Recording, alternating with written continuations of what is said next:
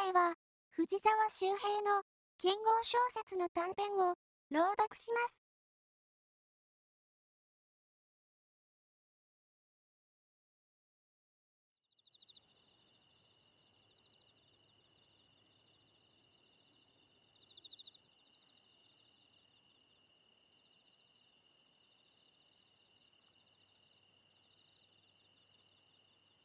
家老屋敷の奥の間で男が二人話していた。一人は屋敷の主、間崎新左衛門で、間崎は三人いる家老の中で定石を占めている。もう一人は客で、番頭の遠藤久米次だった。家老が自分の家で話すのに遠慮もいらないようなものだが、遠藤との話し声が小さいのは、二人が人の耳をはばかる密談にふけっているせいだった。遠藤が来てから一時、二時間近く経っているが、二人の間には空になった茶碗が置かれているだけだった。それで、上村はいつ来る？四月の初め、桜の花が終わった頃でございましょう。殿のご帰国に先んじてということでございました。うーん、弱ったの間崎は腕組みをして額のシワを深くした。遠藤は黙念と口をつぐんだまま家老の顔を見守っている。間崎は顔を上げてひょいと遠藤の目を覗き込んだ。しばらくにらめっこをするように目を合わせてから、パタリと膝を打った。やむをえんの。上村の大目付就任を阻む手はないわ。ありませんか。ない。加賀が馬鹿なことをやりよったから、こっちには打つ手がない。山内の手の内は見えているが、眺めておるしかないわ。当分、押されますな。当分どころではない。奴は我が歯を根こそぎ退けるつもりでかかってきたぞ。上村弥吉郎の大目付就任が、その手始めじゃ。間崎は遠藤から目を離して、廊下の障子の方に目をやった。山内というのは、去年の秋に組頭から中老に進んだ山内忠須兼次のことである。12年前、間崎は当時史跡家老だった山内の父を激しく批判し、ついに失勢の座から追い落とした。その後の12年は、間崎と間崎に組する者の天下だった。思う通りに半生を動かし、金物町の間崎の屋敷は土産物を携えて訪れる家中、城下の不詳、領内の豪農で賑わった。間崎は映画を極めた思いをした。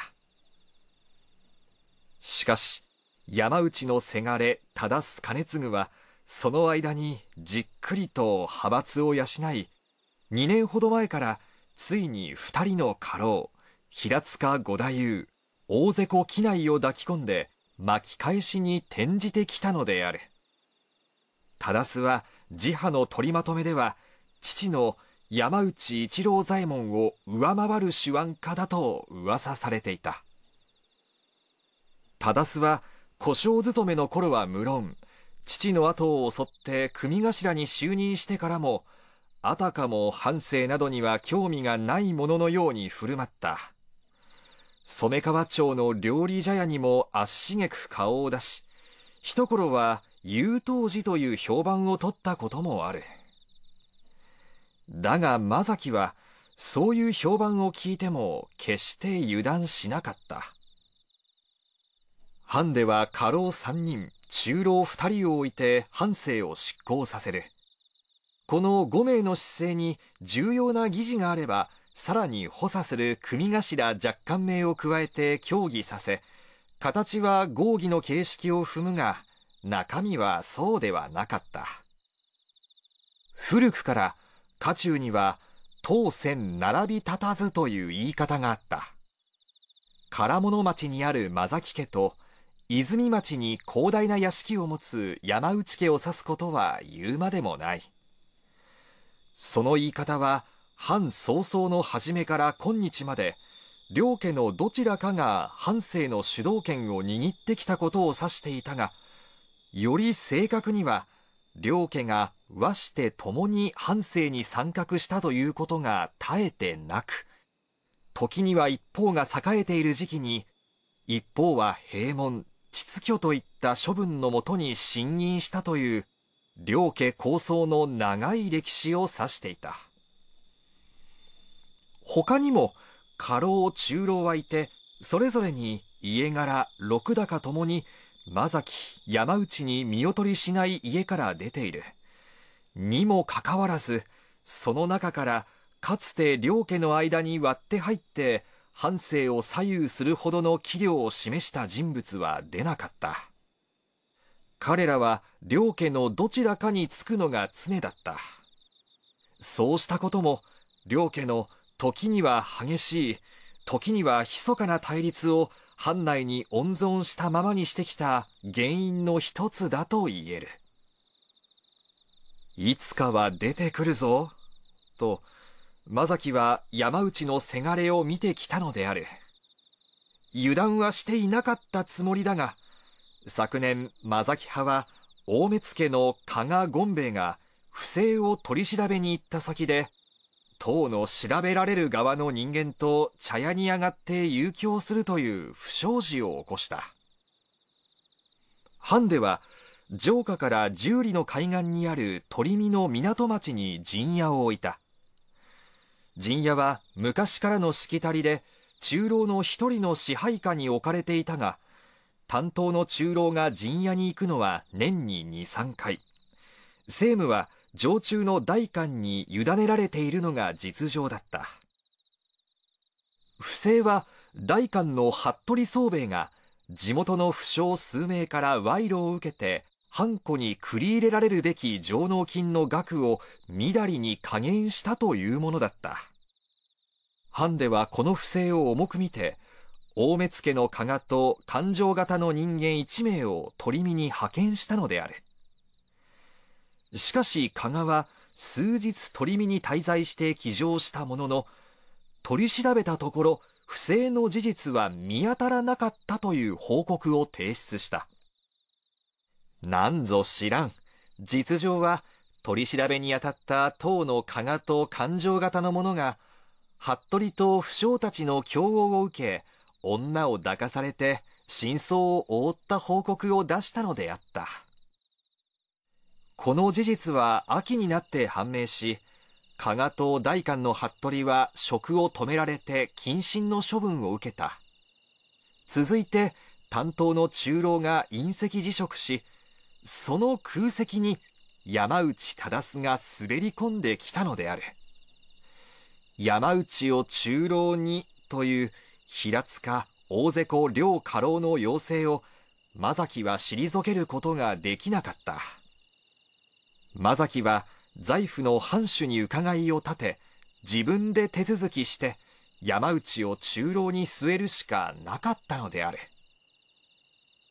加賀の不正を好機に山内忠が市政の座に乗り込んできたのだということは首席家老としてそういう一連の人事を進める間に十分に気づいていたことであるそれははっきり山内の側についたとわかる平塚大瀬古の態度からも分かったが空席のままだった大目付の職に上村弥吉郎をと山内が提案してきた時にいよいよはっきりしたようだった。上村は父祖以来上夫勤めの藩士で国元とは関わり合いの薄い人間である。しかし江戸藩邸では若年ながら留守役として働き優れた才官は国元にも聞こえていた。上村の上司は江戸家老の末継孫兵衛であるその末継が昔山内一郎左衛門に目をかけられて江戸家老に転じた人物だったことを正樹は久しく忘れていた。山内派が失脚した時末継は遠くにいたために生き残ったがその後国元に呼び返されて失政に加わるという機会もなかった非力な家老だったので正樹は末継をどことなく島流しにでもした人物のように意識の外に放置してきた。しかも今、上村という人物が目の前に現れてくると、染川町あたりに出没しながら、山内のせがれは一方で、抜かりなく江戸の末継とも連絡を取っていたことが読めてくるようだった。当千並び立たずか。上村弥吉郎は32だという。頭が切れるだけでなく、無害流の奥義を極めた剣の達者だということは、たった今遠藤から聞いたことである。上村の大目付就任を持ち出してきた山内忠は35である。二人とも若い。正樹は自分がはっきり主勢に回ったことを感じないでいられなかった。10年余りも半生を意のままに動かしてくると、その間に赤がたまるようだった。加賀権兵衛の一件は、たまたまその一部が露呈したに過ぎず、正樹自身にも似たような失策がなかったとは言えない。権力の座にいる者の意識しないおごりがもたらした失策だった。賄賂も取ったし、明石軍の開墾地で竿を打ち直した時には、地主側に有利に計らった。山内はいずれ正樹のそういう古い失策にも調べを入れてくるかもしれなかった。国元に引っかかりを持たない上村を大目付に押してきたのも、思い切った手腕を振るわせるのが狙いだと考えられなくもない。加賀の失策は正樹の泣きどころだった。上村に対抗して自派の誰かを押すというわけにはいかない。山内は正確にその弱みをついてきていた。中老に就任してまだ半年しか経っていない男のやや冷たい感じがする横顔を、ほのぐらい障子のあたりに思い描いた後で、正樹は目を遠藤に戻した。それが癖で、またパタリと両手で膝を打った。まあ、連中の出方を見るしかあるまい。しかし、上村が大目付になったら、まず我らも無傷では済むまい。そなたも覚悟しておく方がいいぞ。存外にお気弱なことを申される。遠藤久米次は苦笑した。そして、その笑いを引っ込めると、しばらく考え込む表情になったが、やがて声を潜めるだけでは足りないというふうに、茶碗を押しのけると、一膝前に進んだ。遠藤は囁いた。しかし、上村の大目付就任は、我が派の命取りになりますぞ。だから苦慮しておる。防ぐ手がないわけではありますまい。密かに片付けてはいかがですか？片付ける。これです。遠藤は片手で物を切る仕草をした。遠藤はそろそろ四十に手が届く年配だが、若い頃に城下の不伝流を指南する堀川道場に学び、いささか賢明を知られた時期がある。遠藤の顔には、久しぶりにそういう昔を思い出したというような殺伐な表情が現れていたが、その提案は正樹には気に入らなかった。苦い顔をした。バカを申せ。そんなことをやれば、山内の思う壺にはまるぞ。我から墓穴を掘るようなものだ。いや、我が派の人間にやらせるわけではありません。と言って、山内の側のものを使うこともできませんが。と、遠藤は言って薄笑いした。馬飼正蔵という男をご存知ですか？いや、ご存知ないでしょうな。知らんな。昔、お槍奉行に馬飼元禄という男がいたが、その家のものかの？よくご存知で。正蔵は、その馬飼の血縁にあたります。ただいまは七十石でお旗組に勤めておりますが、家中に聞こえた偏屈者でござります。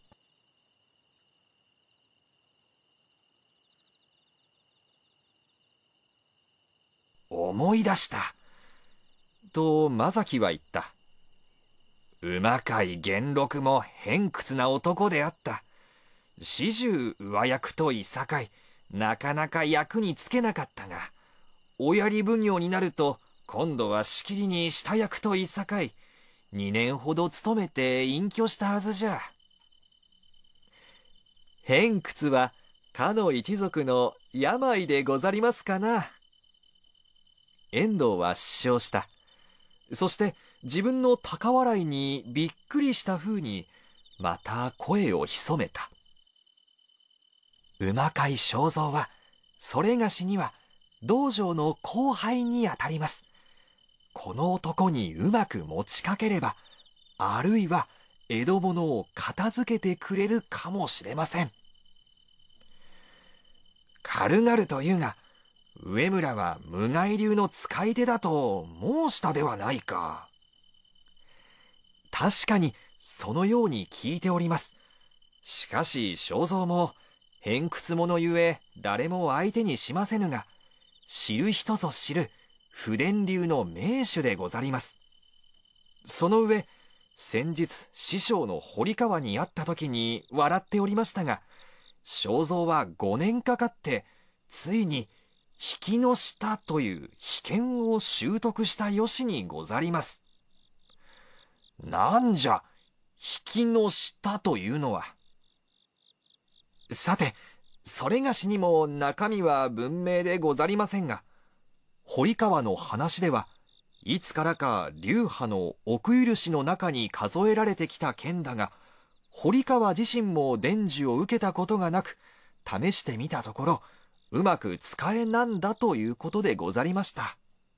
座ったまま人を切るそうです。うーん。まざきは妙な顔をした。偏屈者には似合いの剣じゃな。堀川もそう申しておりました。そういう男なら、上村にぶつけてみるのも面白いかもしれんの。マザキはしばし沈黙して考え込んだが、やがて腕組みを解くと、決心したようにパタリと膝を打った。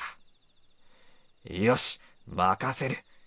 ただし、我らが仕掛けたことだと先方に悟られてはならんぞ。それができるなら、やってみてもよろしいが、くれぐれも隠密にな。うまくいくかどうかは、保証いたしかねます。やってみろと言われて、遠藤はかえって慎重になったようだった。幾分控えめな口調で言った。しかし、何もやらんで、みすみす山内のなすがままになるよりは、ましでござりましょうか。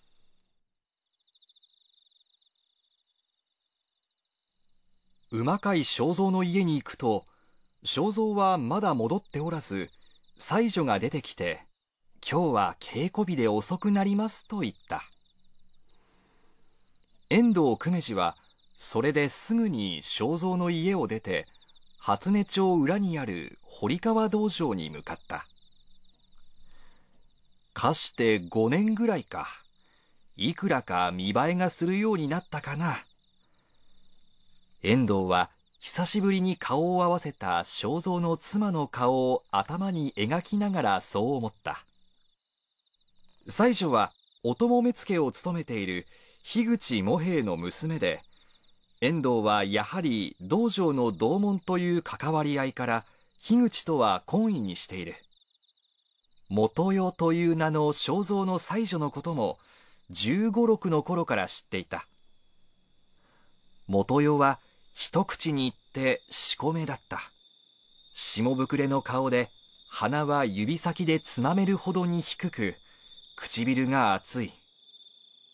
肌の色が白ければそれはそれで愛嬌にもなる顔だろうが元代は浅黒い顔をしている。樋口茂平には娘が二人いた。姉の友野は周りでも評判の美人で妹の元代と比べるとこれが同じ腹から出た姉妹かと思うほどの娘だったが内実は友野は母親に似妹の方は不運にも父親に似たというに過ぎなかった。馬飼正蔵の偏屈ぶりが広く家中に知られたのは元代との縁組がまとまった時だったかもしれない。その頃のある日正蔵は樋口家を訪ねた。人を介して樋口家との縁組が進んでいて樋口が気を利かせて正蔵を屋敷に呼んだのである樋口は酒を出して正蔵をもてなした。風采はパッとしないが堀川道場の春菜と呼ばれている若者を樋口は気に入っていた。樋口自身が先代の堀川彌次右衛門に剣を学んだという親しみもあった。頃合いを見て樋口は二人の娘を首席に呼んでいった娘は二人いるがどっちでも気に入った方をやるぞ無論冗談だった。娘二人もその冗談を聞いてクスクスと笑ったが、樋口も娘たちも当然正蔵が姉の友のをもらうつもりで来ていると思っていたのである。ところが正蔵は娘たちが下がった後で、それでは元代殿を頂戴つかまつりますと言った。樋口の方が唖然とした。こっちに座った見目良い方が姉の友の。こっちにいたのが元代で、わしそっくりの顔をした娘だぞ。それでいいのかと、樋口はいくらか慌て気味に念を押したが、正蔵は、無論そのつもりでお願いしておりますと言った。正蔵の家と樋口家の縁組というのは、まだ二人の娘のうちどちらかをといった程度のものでしかなかったので、正蔵のその言葉で縁組はそのまま進み、元代が馬飼家の人になったのである。人が右といえば左という馬飼正蔵の性癖に、人々が思い当たるようになったのは、その頃からだったろうと遠藤は思っている。姉の友野はその後すぐに百二十石の瀬川という家に片付き子供も生まれて幸せに暮らしているところを見れば正蔵が格別に要望は悪いが心映えを見込んで元用を取ったということでもなさそうだった。要するにその時正蔵は樋口の冗談口の中に仕込めの妹の方を取るわけはないという口ぶりがあるのに反発して妹に決めてしまっただけのことだったろうと今なら遠藤にも納得できるのである。正蔵のそういう性癖は城勤めの間にもまた道場でもだんだんにはっきりしてきて今ではどこに行っても変人扱いされていた。はじめ近習組にいたのが、お難度組に、ついで不審組に出され、今は城中で最も暇な部署とされるお旗組にいるのも勤めの先々で正蔵のその性癖が上役にも同僚にも意味嫌われたせいである。引きの下などという師匠もよく使わない剣を絵図面を頼りにものにしたというのもいかにもうまかい肖像らしいと遠藤は思っている。黄昏てきた堀川道場の門を遠藤はくぐった。母屋の方には向かわず直に道場に入る入り口に行くとちょうどそこから二人の若者が出てきたのにあった。二人は突然に現れた人間が番頭の遠藤だと見て慌てて道を開け頭を下げた。遠藤は道場で稽古することはもうなくなったが道場の先輩格で紅白試合の時に祝い酒を持参したりするので門人たちには顔を知られている。中にまだ人がいるのか？と遠藤は聞いた。馬飼殿がお一人。と若者の一人が答えた。そなたらもよく精が出るの？と遠藤はせじめいた言葉を投げて道場に入った。道場の入り口に立つと床の真ん中あたりで木刀を振っている馬飼正蔵の姿が見えた。遠藤の方にちらと目を流したようであるだが正蔵はそれで手を休めるということもなく黙々と木刀を振っている。見ていると正蔵がある打ち込みを想定し体を開いて受け流した後瞬時に反撃に転じる型を反復しているのが分かった。反撃する時下段から木刀を回してさながら円を描くようにして肩を打つのは青蘭という剣である正蔵の無声の動きには凄みがあった。薄暗い道場の中で正蔵は音もなく体を転じ目にも止まらぬ早業で見えない敵を切る所作を続けている。うまかい。遠藤が声をかけると正蔵はようやく木刀の手を休めて遠藤の方をじっと見た。こっちへ来い。話がある。促されて正蔵はようやく遠藤のそばに来た。強い汗の匂いが遠藤の顔にかぶさってきた。正蔵は顔面に汗を滴らせていた。汗はおそらく全身に吹き出しているに違いなかった。さながら真剣で敵と切り合った後のように正蔵は荒い息をついている。頬がこけた貧相な顔をし体も痩せて見えるが正蔵は鋭い目をしそばでよく見ると厚く引き締まった胸を持っていた。失礼しました。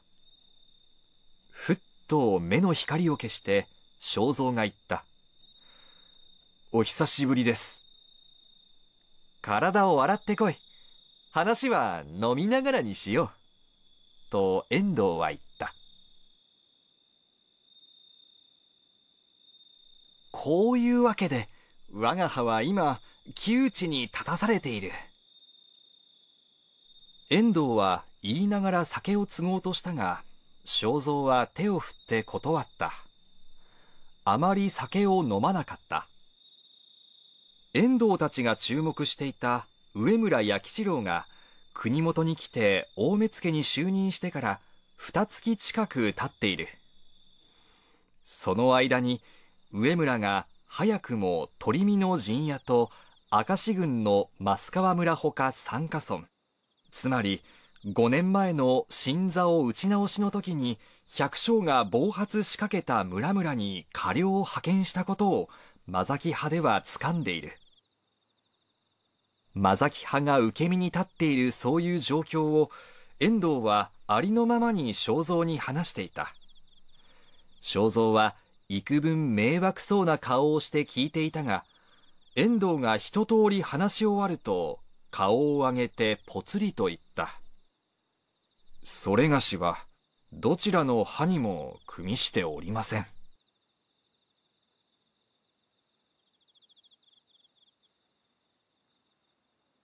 それは無論分かっておる。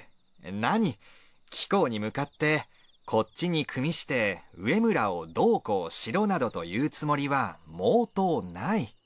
ただ今日は同門のよしみでちょっと愚痴を聞いてもらおうかとな。ふっと思いついて道場に立ち寄ってみただけの話よ。ただ我々が下船の輪だ。山内が代々上府でいわばよそ者の上村を大目付という住職に招いたことだな。上村は祖父が江戸藩邸に雇われたのが初めで、藩士とは言いながら国元とは血のつながりが何もない。そういう奴は冷酷なことをやるぞ。いずれ藩内に人騒動起きることは目に見えているが、今度はこれまでのようにはいくまい。死んだ親父殿に聞いているかどうか知らんが、間崎殿が山内の親父を家老の座から追い落としたのは本当のことだ。山内派に落ち度があったからだが、その処分といえば、職を止め一年の謹慎だけだった。無論、組頭の家柄はそのままだ。だから、間崎殿がその後を襲って首席家老になったと言っても、藩という立場から見れば、いわば禅情といったものでな。血の雨も降らんし、誰が腹切ったわけでもない。だが、よそ者の上村には、この程よい加減がわかるとは思えん。今にひどいことが起こる。いや、政治向きの話はこれぐらいにするか。退屈したろ。遠藤は笑って正蔵の杯に酒を継ごうとしたが、気がついて手酌で自分の杯を満たした。ところで、上村焼四郎が無害流の達人だという話を知っておるかの？いえ。正蔵はうつむいていた顔を上げた。むっつりした顔に初めて興味あることを聞いたという表情が動いた。いや、そのことは以前から耳にしていたのだが、わしは話半分に聞いておった。世の中にはよく自称の達人というのがおるからの。ところが、これがまことらしい。つい10日ほど前のことだが、上村は三好町に行って、稽古というか、試合というか、あそこの連中と手合わせをしたというのだ。三好町というのは、五軒川の岸にある一刀流の神戸道場のことである。不伝流の堀川道場と城下を二分する大きな道場だった。その始末を聞きたいか。遠藤はただの剣談好きという顔になって、酔いに赤くなった顔を笑わせながら肖像を覗き込んだ。滝井千八郎は負けた。三本勝負で二本立て続けに取られて市内を投げたそうだ。藤野克也は初め一本入れたが、あと二本を取られてやはり負けた。押されはしたが、かろうじて分けたのが一人いる。誰だと思うな？井野谷中八。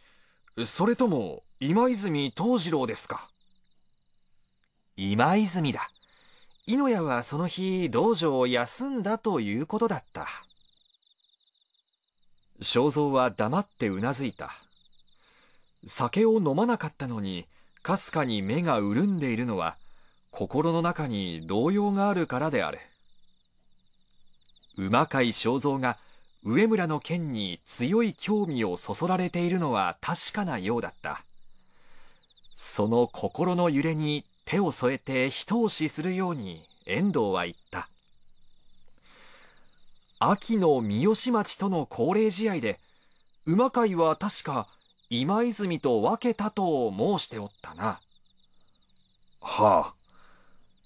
上村という男はすると貴公とほぼ互角の剣を使うということかの頭が切れて腕が立つ恐るべき男が我々の敵に回ったことになる。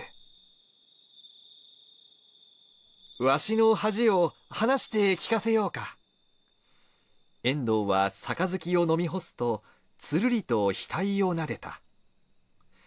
実を申すとな、上村がこちらに来て半月ぐらいも経った頃かな。数日、夜分に上村の様子を探ったことがある。ちょっと待てと言って、遠藤は立っていくと、襖を開けて廊下を覗いた。二人がいるのは、染川町の料理茶屋小花の離れ座敷である。間崎や遠藤たちが始終使っている部屋で、さっきお上に人払いを命じたから、誰も来るはずはないのだが、遠藤はこれからする話にもったいをつけたのであった。上村は大寒町に屋敷をもらって、そこで執務しておるが、毎晩、泉町の山内の家に行く。戻ってきて座り直すと、遠藤は声を潜めてそう言った。毎晩だぞ。連中の意気込みがそれで分かった。わしはこれはいかんと思ったな。間崎殿は、まあやりたいようにやらせておけと応用に構えておられるが、そんなことでは済むまいと思ったのはその時よ。わしは、よし、好きあらば切ってくれようかという気になった。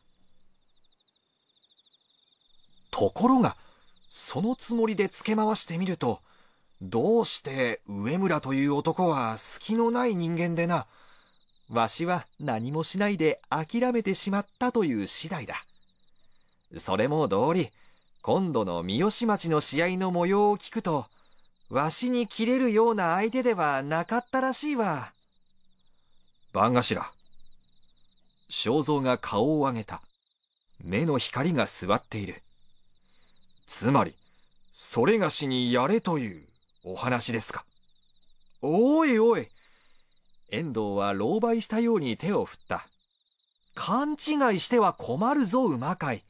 愚痴話だと、初めから断っておる。貴公が政治向きのことには疎い人間だと分かっているから、気楽に話したことでな。変に気を回したりするのはやめろ。あの男を切ろうかと思ったというのは、あくまで内緒話よ。切れば切ったで、また騒動が起きる。誰も貴公に上村を切れなどと頼んだりはせん。つまらんことを考えずに一杯やれ。さっきから少しも飲んでおらんではないか。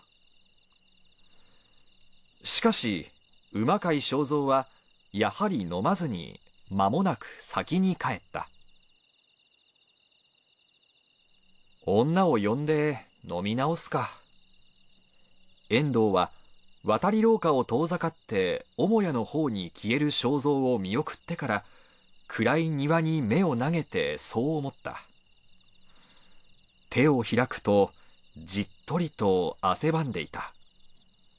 遠藤は酔ってはいなかった。馬飼正蔵の耳に吹き込んだいろいろな話が果たして上村弥吉郎の暗殺につながるかどうかはわからなかった。正蔵がその気にならなければ、それまでの話である。だが、正蔵は偏屈者である。どんなにこと分けて話して聞かせたところで、だからやれ、などと言えば、そっぽを向く男である。だが今夜は、こと分けて話した上で、やってはならんと言ったのだ。うまくいけば引、っかかってくるかもしれなかった。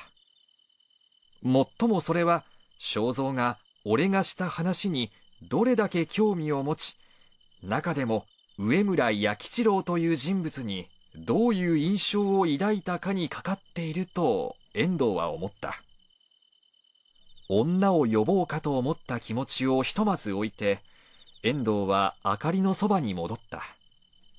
そして、皿に残っていた鯛の刺身を指でつまむと、醤油をつけて口の中に放り込んだ。一人の男を罠にかけた後味は良くなかった。遠藤は正蔵の妻女の顔を思い出している。仕込めだとばかり思っていたが、顔の造作はともかく、元代は肌にしっとりと油が乗り、人妻らしく生めいて見えた。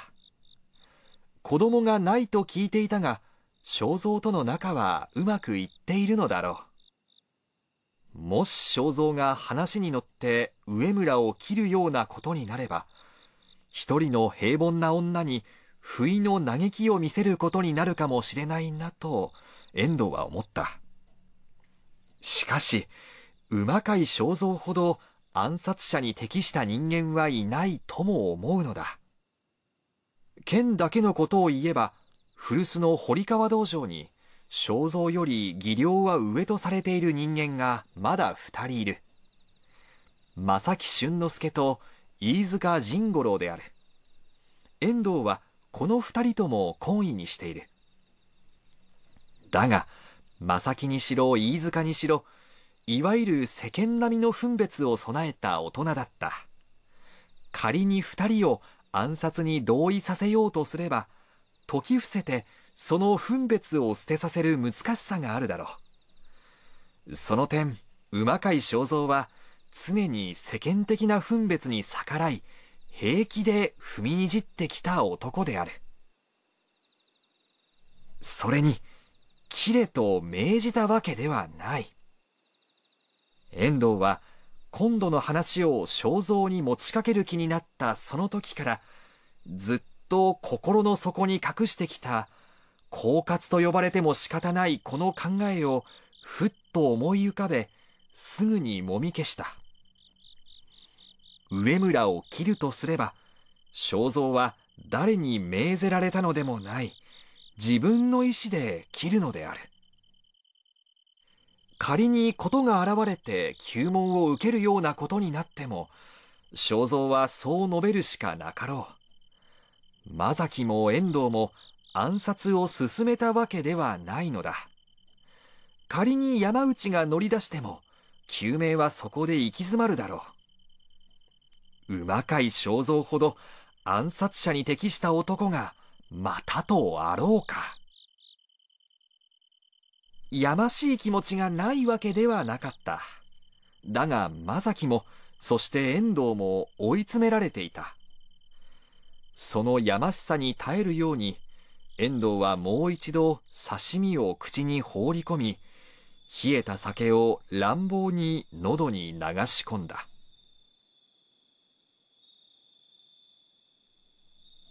馬飼正蔵は中老屋敷の門内に消えた上村を見送るとそのまま道の反対側にある寺門の下に入ってうずくまった。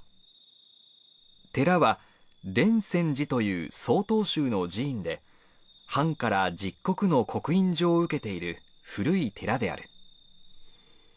門扉の内は静まり返って軒下の闇にうずくまった肖像を咎める者はいなかった。今夜で2番。正蔵は上村弥吉郎をつけ回していた。だが切ると心を決めたわけではない。気持ちがまだそこまでは踏み込んでいなかった。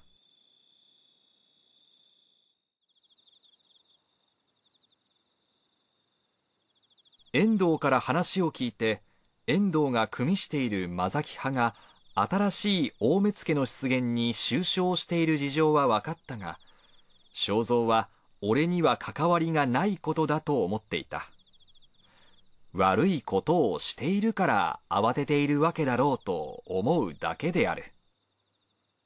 遠藤久米寺にも味方して人を切るほどの義理があるわけではない城中で役を持つと例外なく道場から足が遠のくものだが遠藤はその中で珍しく時々顔を見せ先輩顔でこまめに世話を焼いていく。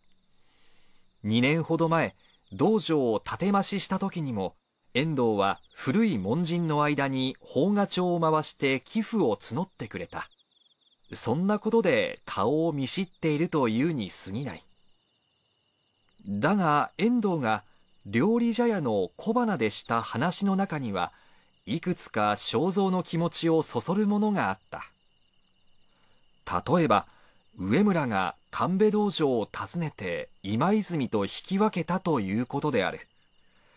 かなり剣に自信がある男らしいなと正蔵は思う。上村の無害流の剣に興味をそそられる。また遠藤がしきりに口にしたよそ者という言葉にも正蔵は気持ちが引っかかった。遠藤の話を聞いてから正蔵は途上してくる上村を注意深く待ち受けた。大目付は毎日途上するということもなく途上の時刻も一定ではない。だがそのつもりで見張っていたので一度だけ城内で間近に上村を見ることができた。一度見ただけで十分だった。なるほど。よそ者だの。馬飼正蔵が抱いた感想はそういうものだった。上村弥吉郎は颯爽としていた。長身白石のそれだけでも目立つ男だったが上村にはもっとはっきり家中のものとは異質の水際だった印象があった。服装にも威厳があるがやや取り澄ました感じの顔にも颯爽とした歩きぶりにも隙というものがなかった。これが江戸風というものかと正蔵は納得した。家中にも風采の立派な男はいるが上村と並べたらやはり見劣りするに違いなかった。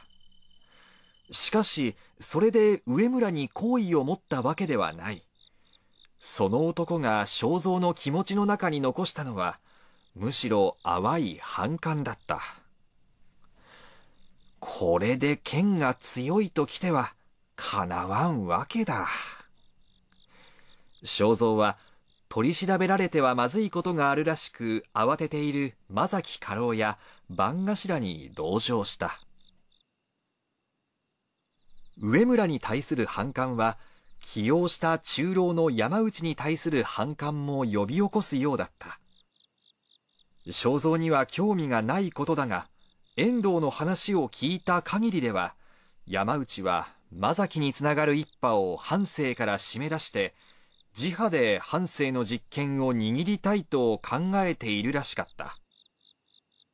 旧兵を一掃して精神な半生を敷こうという意気込みだろうがそれも一時の話よと正蔵は思う。年月減ればその山内も汚れてくる。同じことの繰り返しでどっちに転ぼうとそれで我が家の淵が一票でも増えるわけではない。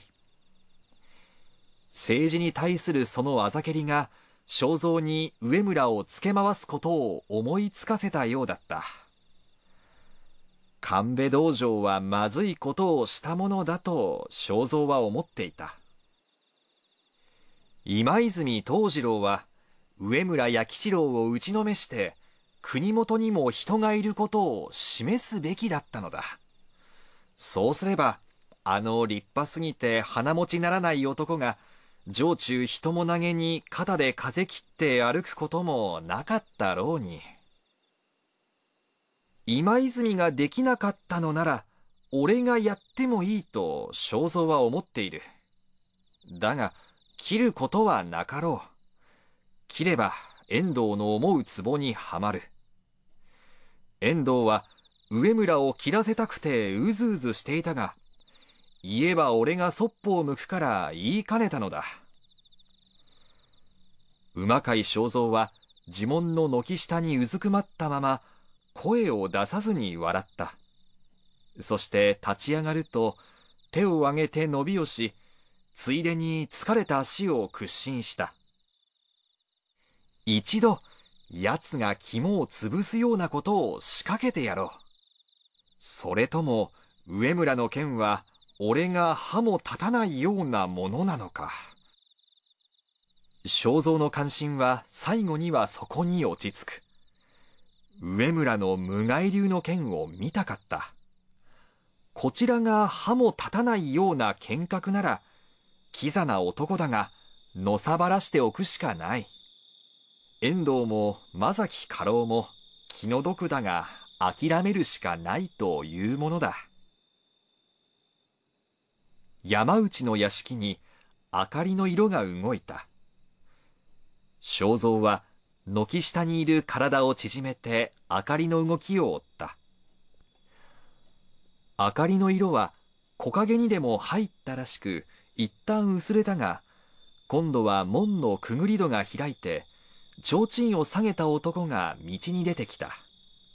上村だった。上村は外に出ると後ろも見ずに足早に歩き出した。よほど腕に自信があるらしく上村はいつも一人だった。その黒い背を見送り中老屋敷のくぐり戸がきしる音を立ててしまったのを見極めてから馬飼正蔵も道に出た。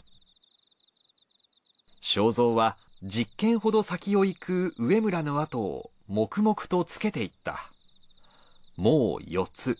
午後10時を回ったはずで街は人通りもなく暗かった。ただ星明かりで足元はわずかに白い。遠くに小さく明かりの色が見えてきた。大寒町の手前にある三の車入り口の木戸の明かりらしかった。正蔵は少しずつ前を行く上村との間隔を詰めていった。突然上村が立ち止まった。振り向くと提灯を掲げ足を止めた正蔵の顔を確かめるように見た。正木の死角か。と上村が言った。穏やかな声だったが目は鋭く正蔵を注視している。いや違う。と正蔵は言った。上村は低い笑い声を漏らした。違うと。しかし貴公わしの後をつけるのは確か今夜で2番になるだろうが。そうだが資格ではない。おかしなことを言う男だ。上村は目の前にいるのが城中に聞こえた偏屈者だということを知らなかった。不用意にあざける笑い声を立てた。見えすいた言い逃れはやめろ。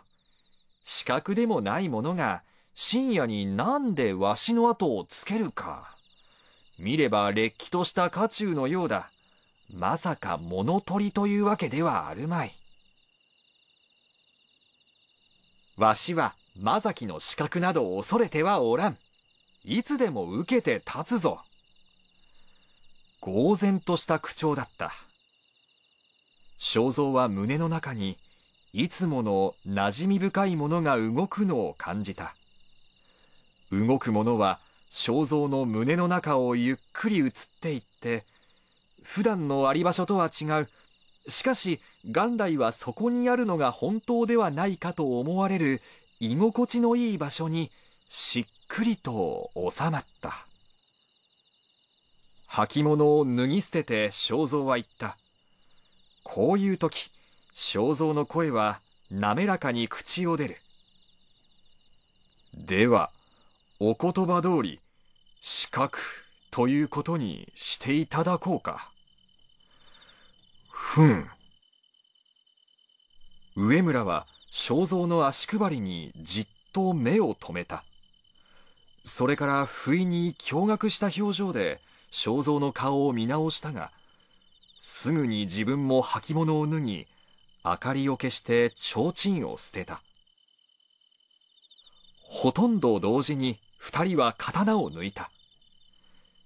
しばらく動かなかったが、やがて星明かりにおぼろに浮かぶ相手を確かめるように、二人は少しずつにじり寄っていった。草履を片方探しても見つからず置いてきたが、家に帰り着くまで人には会わなかった。上村の剣はさすがに鋭く、あちこちに手傷を負ったが、元代に手当てさせて医者は呼ばずに済ませた。城にも休まずに行った。お旗組は詰所にじっと座っていればよい。昼過ぎになって熱が出たが、同僚には風邪だと偽った。熱は一夜で下がった。ひょっとしたら、現れずに済むかもしれないと、馬飼正蔵は思ったのである。だが、期待をかけた大目付を暗殺された山内派の調べは、必要で厳しかった。中老の山内は、自派の物頭、三宅勘十郎を大目付に押し、強引に間崎以下の家老たちの承諾を取り付けると、大目付、町奉行の両役職を動かして、上村弥吉郎暗殺の一件を洗い始めた。上村は無害流の剣士でもあった。山内はその上村を暗殺するほどの腕を持つ家中の使命を残らず書き出したらしく、正蔵も一度大目付屋敷に呼ばれて取り調べを受けた。その時の調べで、山内が城下の一社、薬種屋に残らず手を回し、また残っていた草履片足を持たせて履物屋を回らせていることが分かったが、正蔵はそういう調べが自分に及んでくることはあるまいと思っていた。履物は普段は下駄履きである。草履は2年ほど前に元代が外から買ってきたものだが、庭の草花を手入れするときなどに使い古くなっていた。だが、調べは意外な方角から来た。二月ほど経った頃、正蔵はもう一度大目付の屋敷に呼ばれた。呼び入れられた部屋に年若い小坊主がいた。よく見ろ。この男か？と、大目付の三宅は小坊主に言った。正蔵は小坊主の顔を見返した。そして、あることを思い出して、少し顔色が変わった。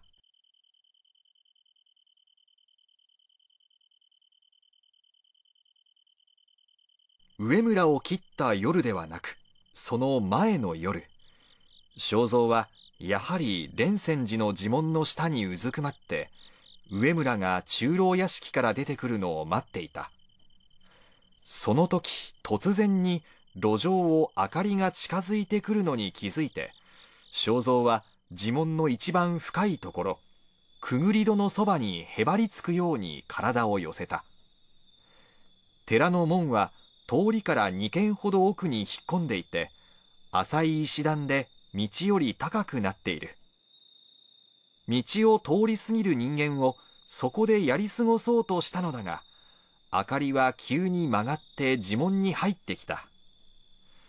提灯の明かりに照らされて、正蔵は避ける間もなく明かりを持った人間と顔を合わせた。それが今大目付のそばにいる小坊主だったのだ。その時正蔵はさりげなく門を離れて道に出たのだが、小坊主は正蔵の顔を覚えていたらしかった。顔色が変わった正蔵を見ながら、小坊主は少し怯えた表情で、この人に間違いありませんと言った。三宅は小坊主を部屋の外に出し、代わりに配下の者を二人部屋に呼び入れた。屈強な体つきの配下二人は、逃亡を防ぐように正蔵の後ろに回って座った。万事休したと正蔵は思った。貴様にやられる前の晩にだ。上村殿は屋敷に戻ると家の方に今夜も死角につきまとわれたと話したそうだ。しかしなんだなわしは上村殿の傷を改めたのだが馬飼いの不伝流は大したものだの。三宅は感心したように言ったがすぐに顔色を改めた。さて少し問いたださねばならんぞ。その資格というやつだが、誰に頼まれた？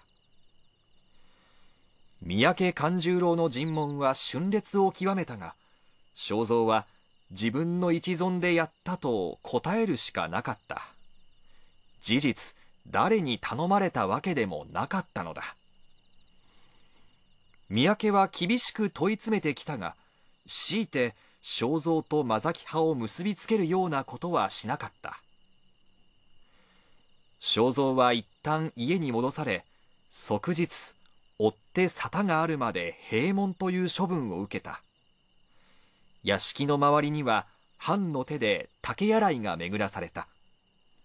食い物を求めるために、妻の元代だけが見張りに断って外に出ることを許されたが、外とのつながりはそれだけで、夏が終わろうとする日々を、夫婦は鶏のように竹洗いに隠された家の中で暮らした。ある日元代が声を潜めていった。私から申し上げるのは差し控えてまいりましたが、間崎様のお助けは当てにはなりませんのですか？それは当てにできん。なぜでございます？元代は膝頭がくっつくほど夫に詰め寄った。上村というお人のことは、間崎様と山内様のお争いから起きたことだと、この辺りではもっぱらの噂でした。私は、お前様が間崎様にお味方したものとばかり思っていましたが、違いますか？世間ではそう申すが、実情は違う。わし一人でやったことよ。なぜそのような？と言ったが、元代はそこで絶句した。考えてみれば、夫はこれまでずっと理屈に合わないことばかりやってきたのである。近習組、お難度と城内の務めが続いていたのに周りと合わず、ついに外勤めの多い不審組に回された時、上役が哀れんで正蔵を役につけようとした。小頭になれば手当がつく。だが、正蔵は家に戻ってその話をし、哀れみは受けぬと断ったと、とくとくと話したのを覚えている。平庭の白木蓮が見事だと近所の者が褒めたと言ったら、正蔵は夜の間に残らず花をむしり取って捨てた。そもそもが美しい姉をめとらずに自分のように囚房の女を選んだ夫である。その夫が今度だけは理屈にかなったことをやったと考えた自分の方がおかしい。元代はそう思いながら、髭が伸びて物乞いのようにやつれている夫の顔をじっと見つめた。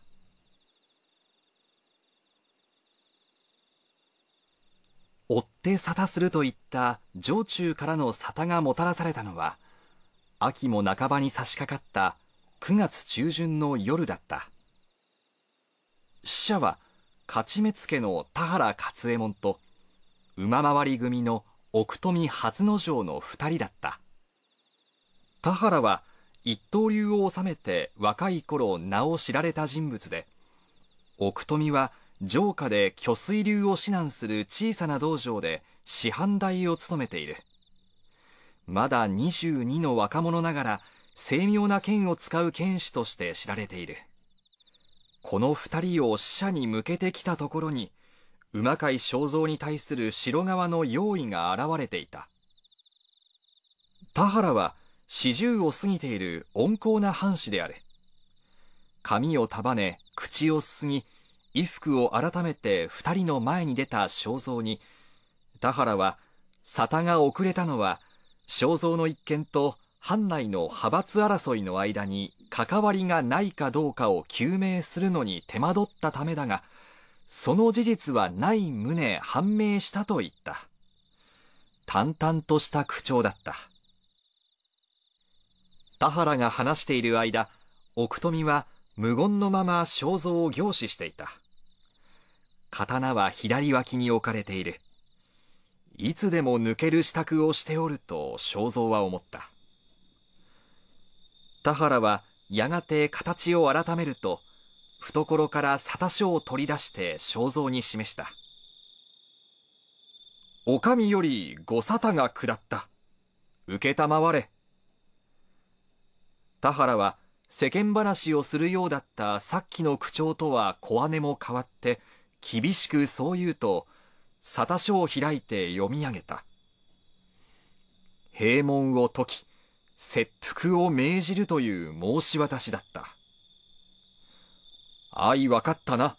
解釈は奥富が務める。潔く承れ。いやと正蔵は言った。正蔵は頭を上げると尻をわずかに動かして足の指を内側に曲げた。手をつかえたままだったので正蔵の姿は引きが這いつくばっているように見える。その前に今一度お取り調べを願いたい。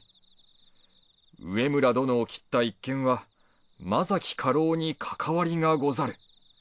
それがしを今一度大目付の前に引き出していただきたい。申し上げることがある。何を申すか。田原は鋭い目を正蔵に注いだ。そのことは先ほど申し聞かせた通り関わりなしと判明しておる。先に行われた大目付の調べに貴様も同様に答弁しておるではないか。見苦しい真似をいたすでないぞ馬飼い。お上のご沙汰じゃ神妙に承れ。いやこのままは承らぬ。承れ馬飼い。田原は叱咤すると同時に肩絹を後ろに跳ねた。だが正蔵に切りかかったのは奥富初之丞の方が早かった。奥富は上位と一言告げると片膝を立てて抜き打ちに正蔵に切りかかった。座ったまま正蔵はよじるように上体を傾けて奥富の速い剣をかわした。そしてかわされて前に傾いた奥富の胸を目にも止まらぬ消灯の動きで刺していた。引きは死んで動かない虫は食さないという。正蔵も奥富初之丞が動きを起こすのを待っていたのである。正蔵の剣はさながら鈍重な引きが一線の下先で飛ぶ虫を捕らえたのに似ていた。奥富の体が音立てて前にのめった。次の瞬間正蔵と田原は弾かれたように立って剣を構えていた。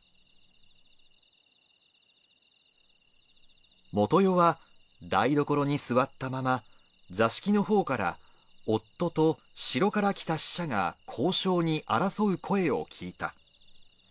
承れ承らぬと言ったようである続いて何事か激しい物音が続きその間に玄関から座敷まで人が駆け抜けていった足音も耳にした。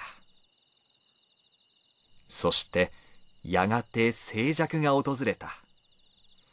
その静けさは元代の心を凍らせた。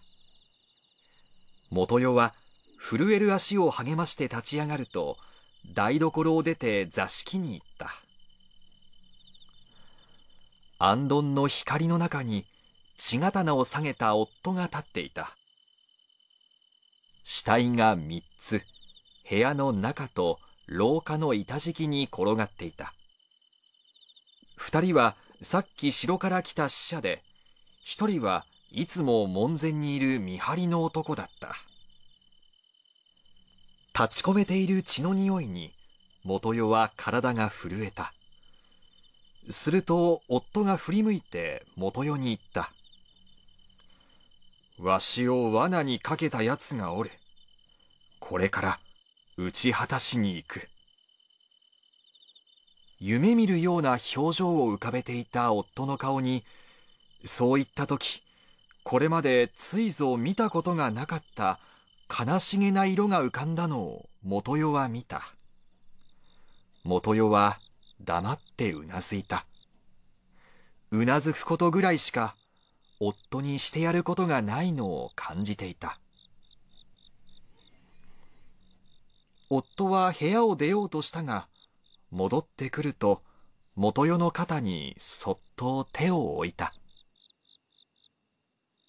そなたを嫁にもらったのもわしの偏屈のせいだという者がいたがあれは違うぞ。わしはそなたが気に入って夫婦になったのだ。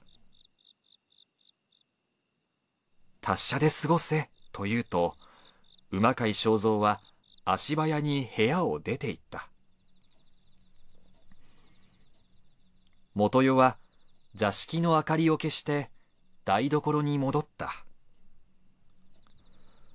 ほの暗い台所の板敷きに座るととめどもなく涙があふれてきた。